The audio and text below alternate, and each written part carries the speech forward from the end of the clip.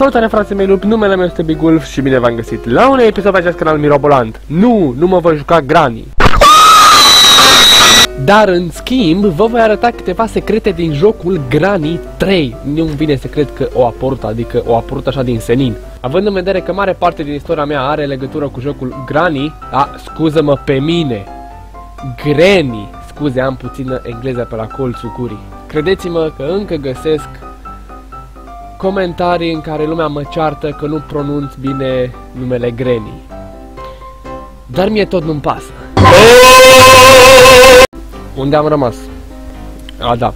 Având în vedere că mare parte din istoria mea are legătură cu jocul Granny, m-am gândit să filmez și despre al treilea joc din franciză, așa că haideți să vedem câteva mistere, între ghilimele și easter din Granny 3. Să-i dăm drumul.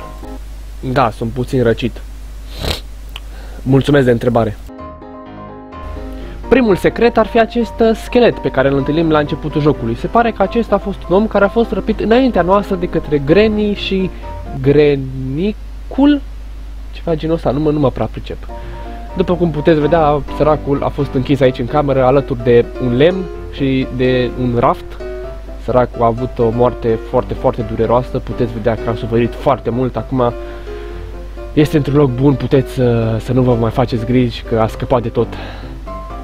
Oricum nu, nu ne pasă, așa că o să ne continuăm jocul.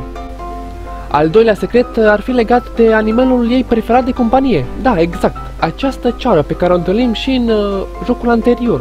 Dacă o țineți minte, vă rog frumos, spuneți-mi că o țineți minte. Atâtea probleme mi-au creat ceara asta. Uh, vai, doamne. Este foarte interesant că au băgat anumite chestii din jocul anterior și presupun că o să vedem și mai multe chestii în următoarele update-uri. No, fiți atenți, chestia asta e extrem de faină. Se pare că acest șanț care înconjoară casa are un aligator care te va mânca dacă vei cădea în șanț. Este incredibil! Uite de la el ce drăguț Mai țineți minte cărțile astea? E bine, cu această carte, în jocul anterior, puteai să o invoci pe, pe, pe Granny, parcă?